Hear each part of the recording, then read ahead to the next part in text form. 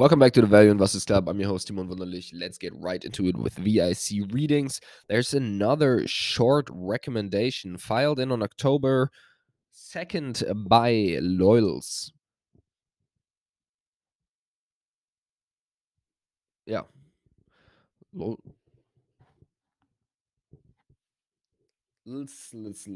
Um, I don't know how to pronounce that name.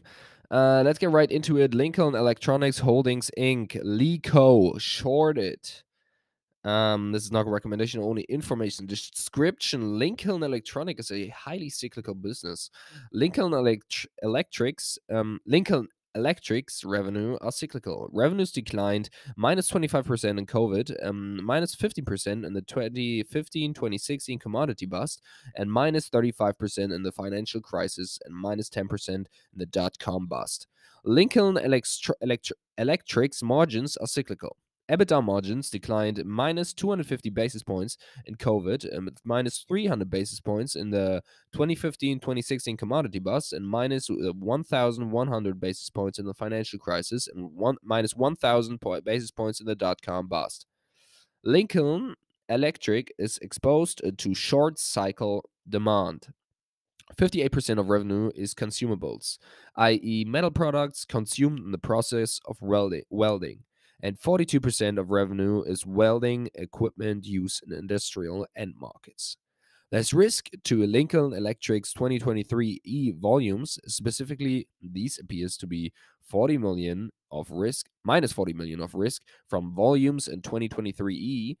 Um, I scope a minus 2% volume decline versus consensus 4% volume growth in 2023 E. I scope flat uh, volumes in the US, uh, 57% of revenue. Lincoln Electronics US welding demand is largely driven by US industrial production.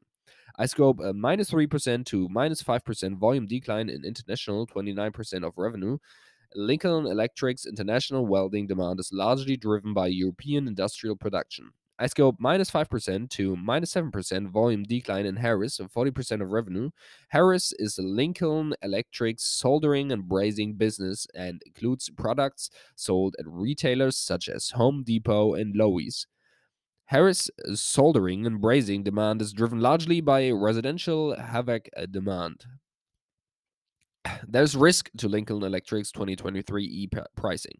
Specifically, there appears to be a minus 40 million of risk of pricing in 2023. I scope a minus 2% pricing decline versus consensus of plus 1 pricing growth in 2023E. I, I scope a min- minus 1% to minus 3% pricing in the US, 57% uh, of revenue. Lincoln Electric's US welding pricing is largely driven by steel prices, which are down minus 44% year to date. I scope minus 1 to minus 3% pricing decline in international, 29% of revenue. Uh, Lincoln Electric's international welding pricing is largely driven by steel prices, which are down minus 44% year to date. I scope minus 3% to minus 5% pricing decline in Harris, and 40% of revenue. Harris pricing is largely driven by silver and copper prices, as these are key consumable metals used in soldering and brazing. Silver and copper are each down approximately 25% year to date. Currencies will be in an additional drag.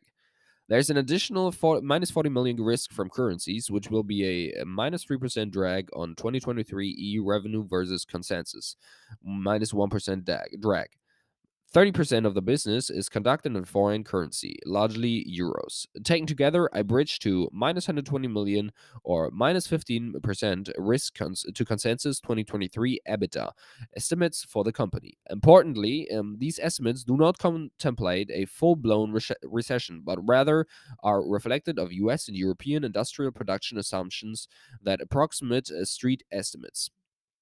The stock does not to be a, does not appear to be fully discounting the above cyclical risk. The stock has sold off significantly less than peers. Lincoln Electric is down minus 10% year to date versus peer uh, ITW, e, ESAB, and uh, Kennametal down minus 26%, minus 33%, and minus 41% respectively. With earnings double pre COVID levels, the multiple is only slightly below its pre COVID average.